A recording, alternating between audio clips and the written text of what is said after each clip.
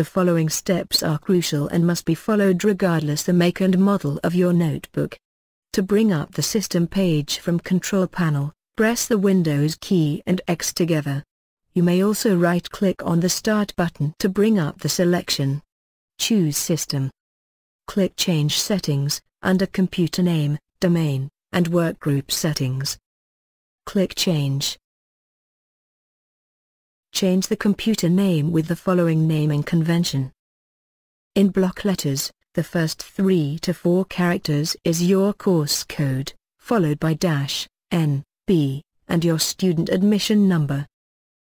Leave the workgroup unchanged and click OK. Click OK to proceed. Click Close to proceed. When prompted to restart system, choose Restart Now. Your notebook will take on the new computer name after restart.